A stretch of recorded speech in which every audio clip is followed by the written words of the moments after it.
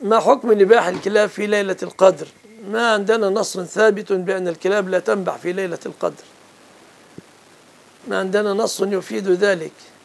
النصوص التالفة في هذا الباب.